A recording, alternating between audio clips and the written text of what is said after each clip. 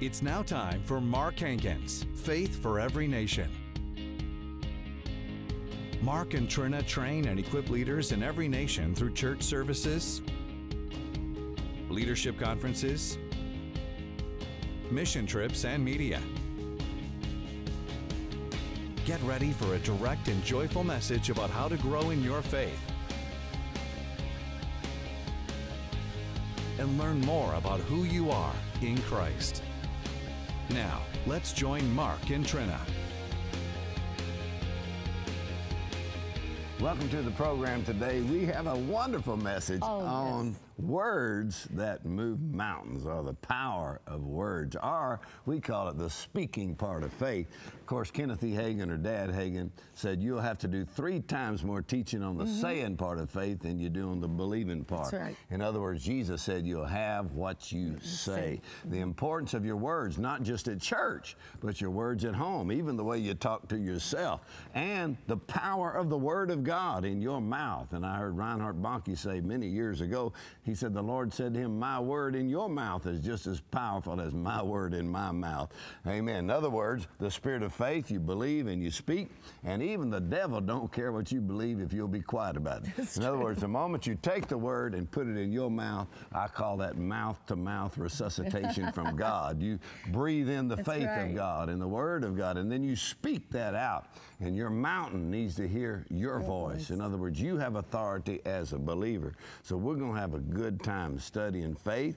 And, mountains are going to be moving. And the scenery is changing. That means That's right. mountains are moving. And I encourage you to get the messages from today and get the books and stuff. It'll be a tremendous blessing to you. So we want to go right into the service and talk about words that move mountains. All right, if you have your Bible, open up Mark 11 22, Mark 11 23. And uh, this morning we're going to talk about faith and specifically the speaking or the saying part of faith.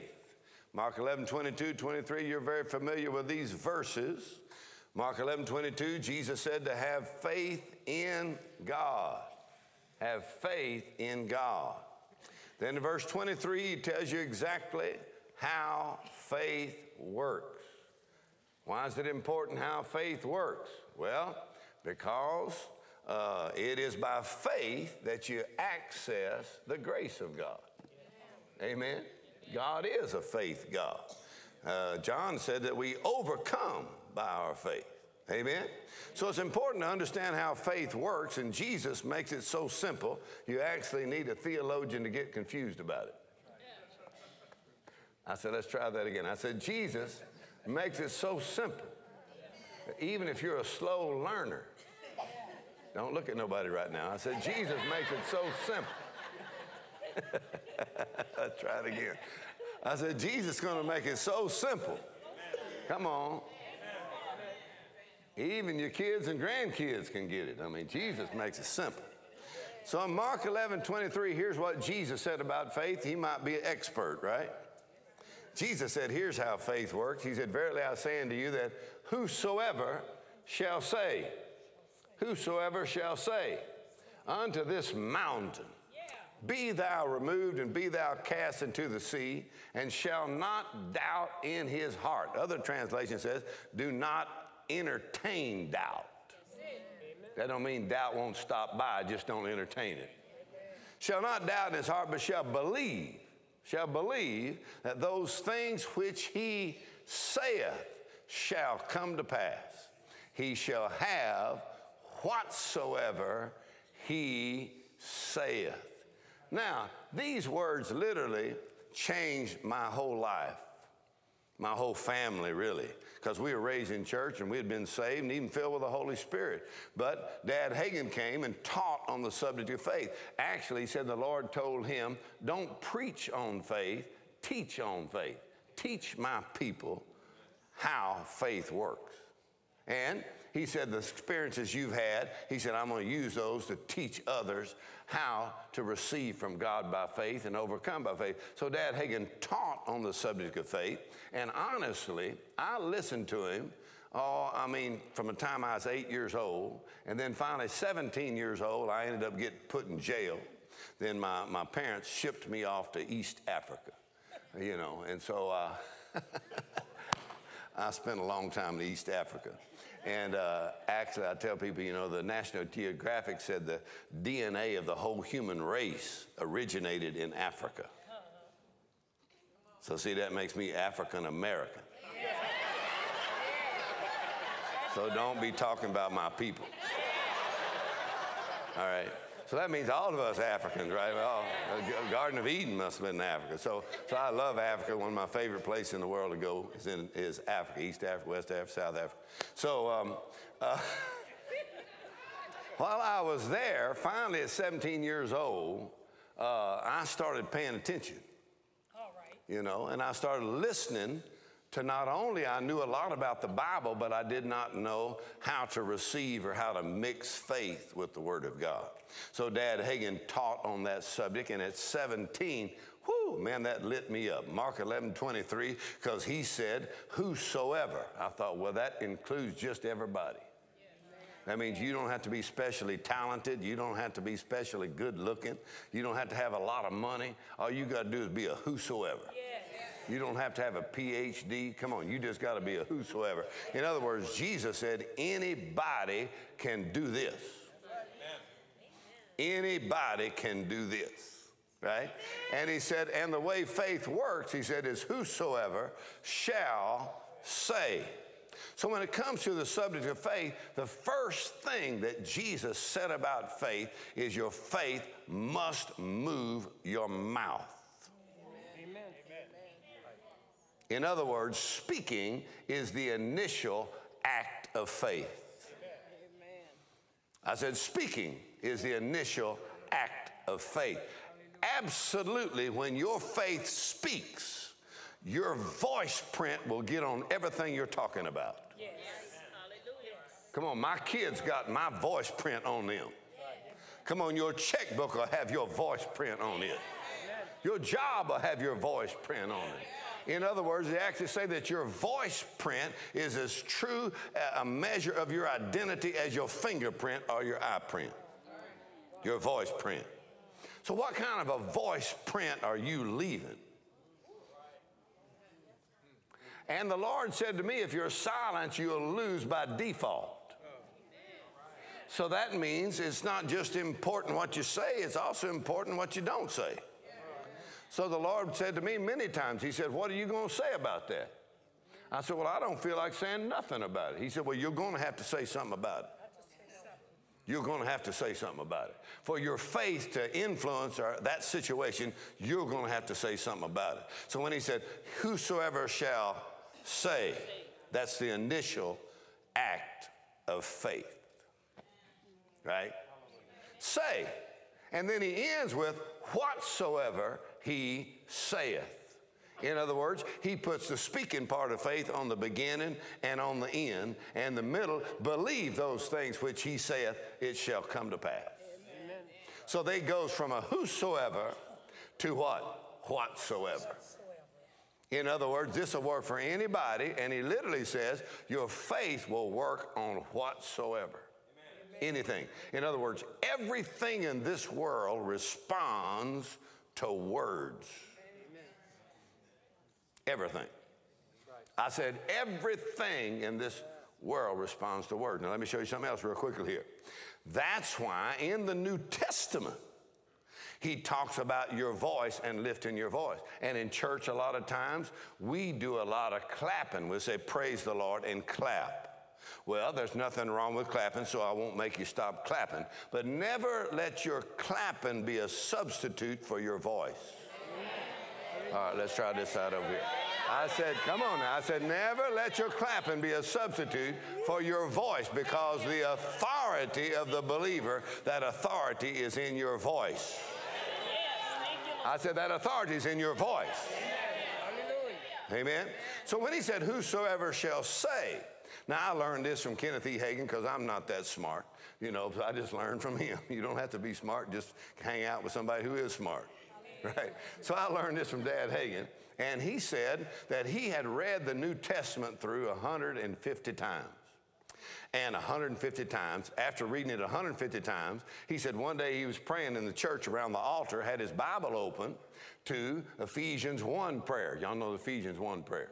Ephesians 1 prayer, and he said, I prayed that diligently every day, and that is this prayer that God, Father God, I'm asking you to give unto me the spirit of wisdom and revelation in the knowledge of God, that the eyes of my understanding would be enlightened, that I may know Come on, God wants you to know that I may know what is the hope of your calling and what is the riches of the glory of your inheritance and what is the exceeding greatness of your power towards us who believe according to the working of your mighty power which you wrought in Christ when you raised him from the dead and set him at your own right hand in heavenly places far above all principality and power and might and dominion and every name that is named not only in this world, but also in that which is to come. And you put all things under his feet, gave him to be the head over all things to the church, which is his body, the fullness of him that fills all in all.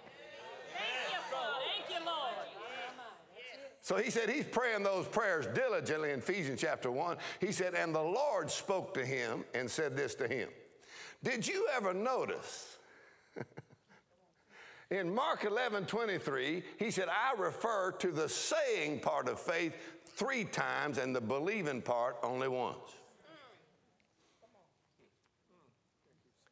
He said, No, I never noticed that. So he turned in his Bible to Mark 11 23 and he counted it. Well, concerning the believer. Now, there's one say in the beginning where Jesus said, Verily I say, but in reference to the believer, the saying part. So he counted it. Verily I say unto you, now, one, whosoever shall say, one. Talking about the believer. Whosoever shall say, one. Unto this mountain be removed, be cast, he shall not down, believe those things which he it. That's two. Shall come to pass. He shall have whatsoever he say it. Three. He said, I never noticed it.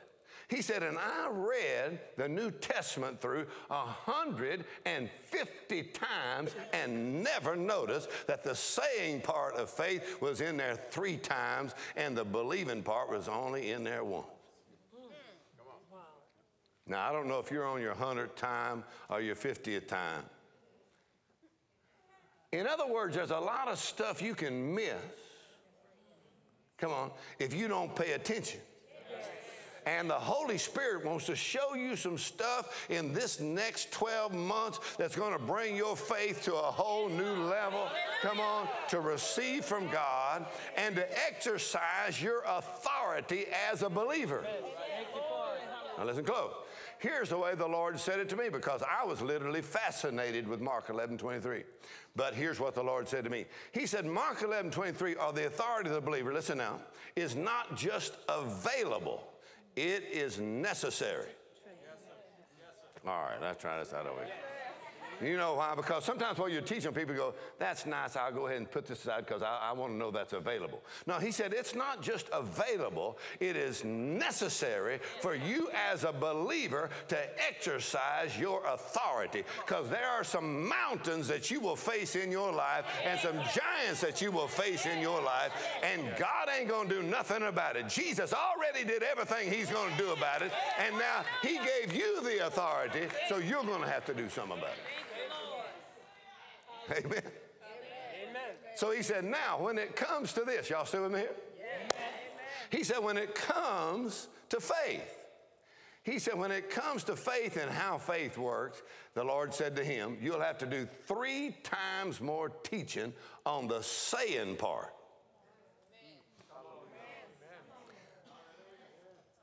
You'll have to do three times more teaching on the saying part than you do on the believing part. Here's what the Lord said to him. Because he had been teaching on the saying part, he had also been teaching on the importance of the confession of your faith. In other words, faith must have a confession.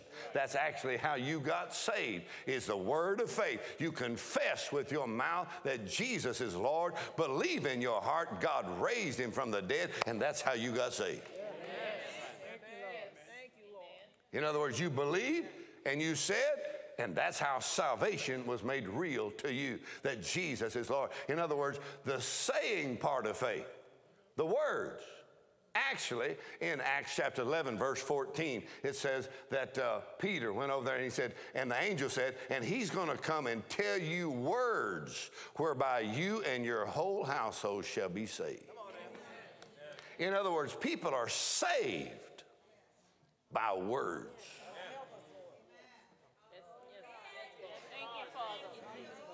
Come on, the angel said he's going to come tell you some words.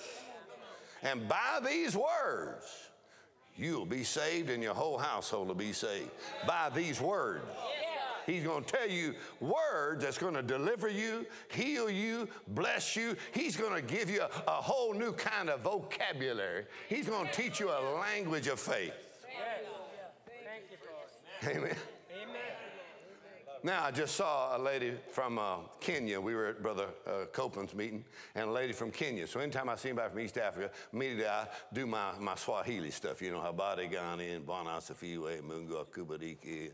I'm, I'm running through my Swahili, and uh, oh, she just lit up, you know, because that's her, her original language, so she lit up. Well, in when I was in East Africa, I'm in Tanzania with a missionary, so I'm trying to learn Swahili. So I'm walking down the street, and I met a young man walking down the street. So when I met him walking down the street, I said, uh, Habari gani? How you doing? I'm, I'm really proud. I'm able to say a few things.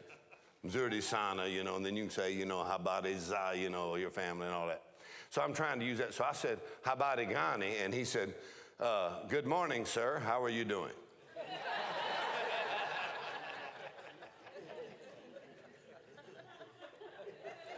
So he, he threw English at me, right? Well, I'm downtown Dar es Salaam, Tanzania, or somewhere like that. So I'm walking down. How are you doing, sir? Good morning. So here's what, what I found out. He said, here in East Afri- Africa, we call English the money language.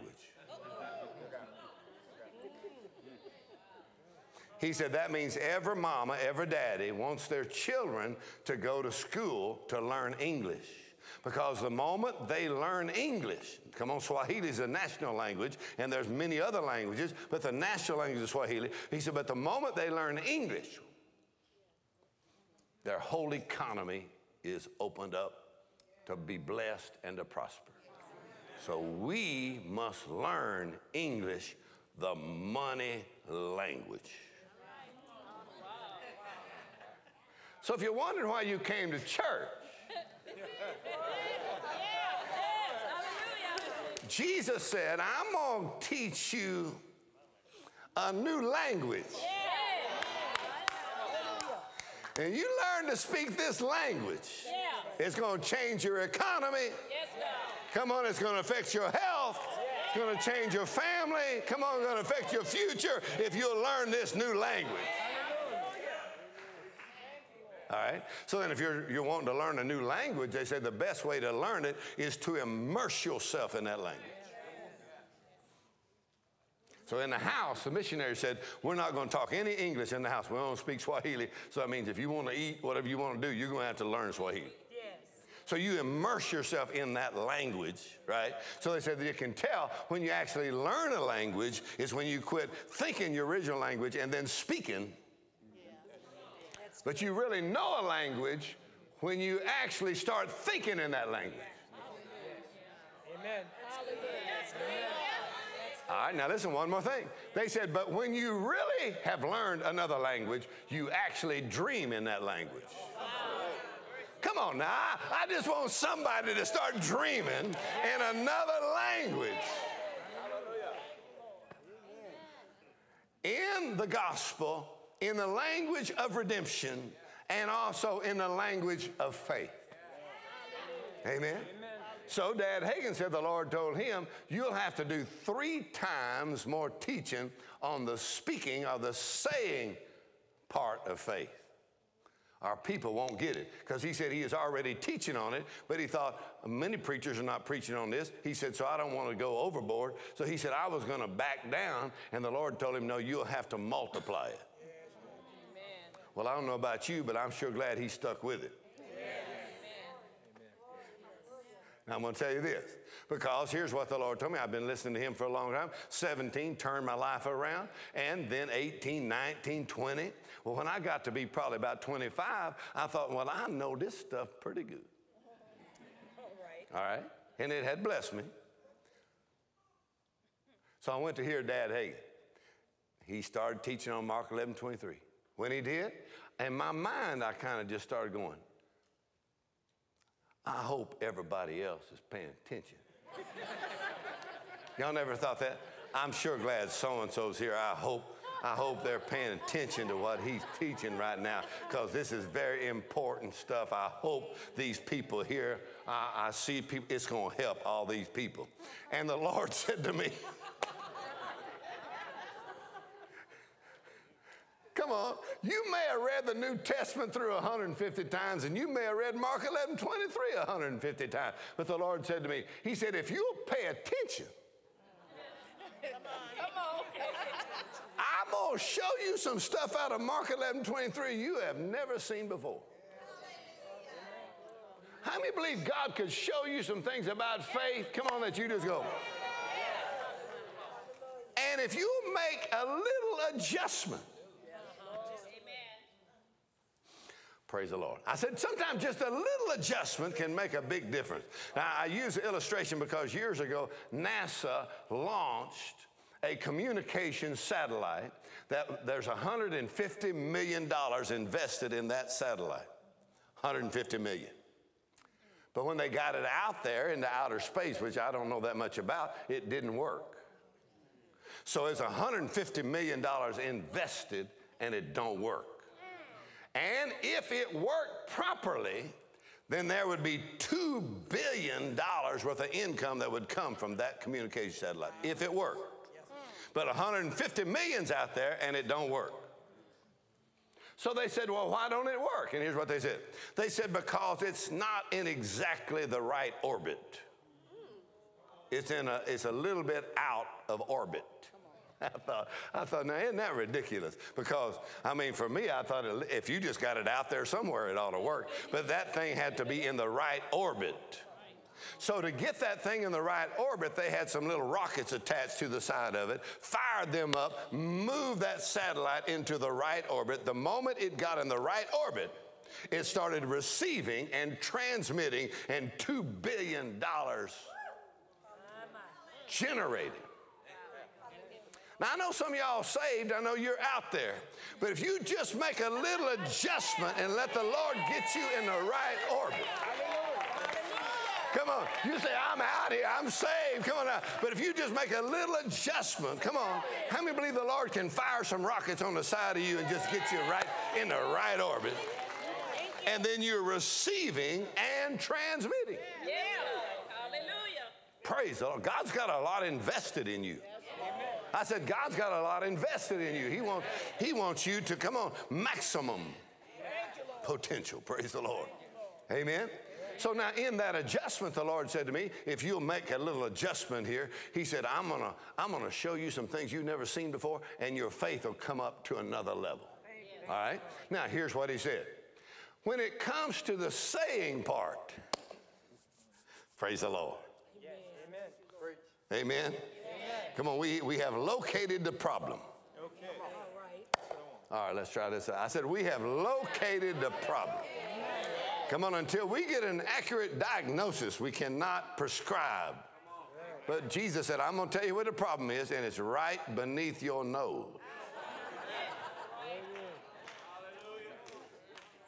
Come on, so sometimes you got to look in the mirror and say, All right, don't look down while I'm talking to you. I'm talking to you you fixing to learn a new language. In other words, instead of talking failure, instead of talking fear, instead of talking weakness, instead of talking defeat, instead of talking lack, you're going to speak words of faith, words of life, words of healing.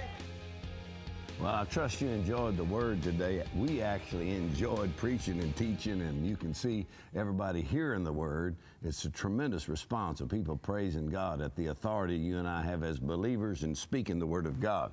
One of my favorite quotes is The gospel of Christ is the power of God, and the same power that's in the death and resurrection of Christ is in the message. In other words, the devil's just as afraid of the Yeah. spoken word of God as he is of the events of the death and resurrection of Christ. So when you speak the word about your redemption and who you are in Christ and about faith in the blood of Jesus and you lift your voice, then demons have to flee. You resist the devil and he will run in fear from you because of the power of the gospel and the power of the word of God. So we encourage you to get our books and get our CDs on teaching on faith that moves mountains, words that move mountains, and listen and read and study and then live by faith. Apply that word, and you'll see mountains are going to have to move. So, I encourage you to get the CDs, listen to them over and over again, and then get the book on opening the door to the The Word supernatural. of God is so full of life and it's full of power.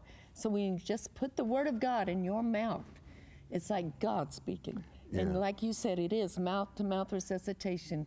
Things change. You lift your voice, and Mm-hmm. actually, faith cometh by hearing and hearing. In other words, Yeah. it's important to hear the word again and again.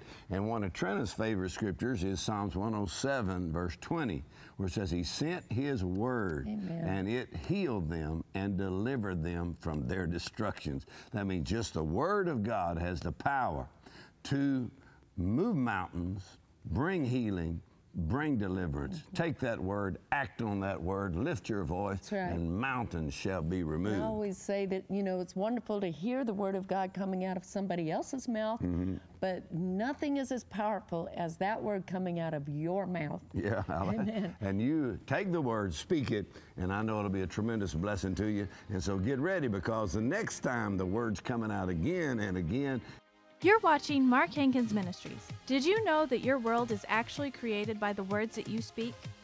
Your words literally are building blocks for your life and for your future.